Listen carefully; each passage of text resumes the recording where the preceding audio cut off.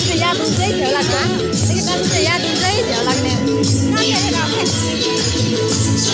ini pernah dalam cakup ini kan siapa tahun dah muncul lagi terus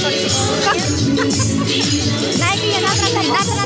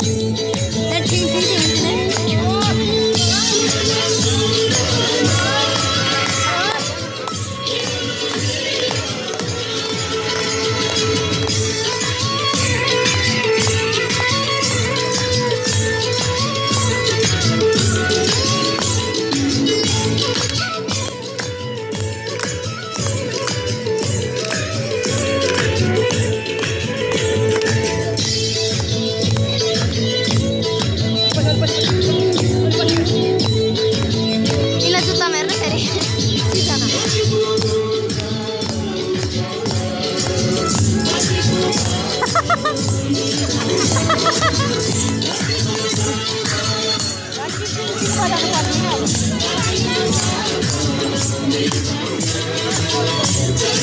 you.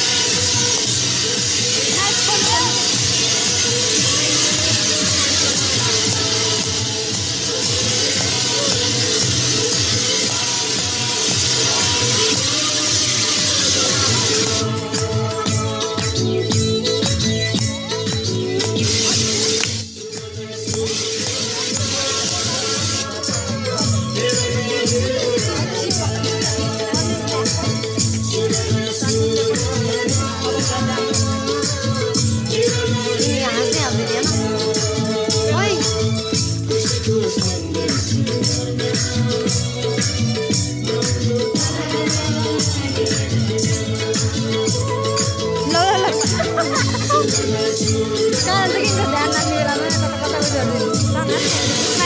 Smile